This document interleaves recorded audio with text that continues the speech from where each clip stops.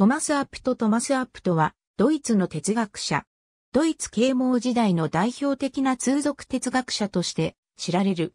また、同時代の哲学者、ヨハン・ゴットフリート・ヘルダーと共に、歴史哲学の成立にも大きな役割を果たした。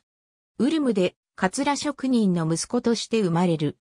ウルムのギムナジウムで学んだ後、1756年からハレ大学で数学と哲学を学ぶ。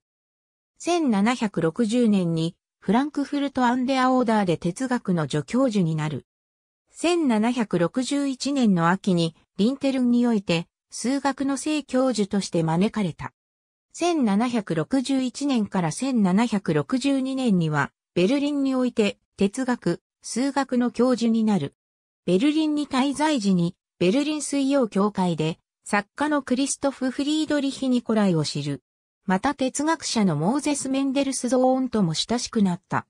またトマス・アップとは B という仮名のもとにレッシングも携わった最新の文学に関する書簡の共同執筆者となった。この書簡はベルリンにおいて1733年から1765年まで24巻が出された。その後は9ヶ月もの間旅に出て、フランスの哲学者のボルテールと会った。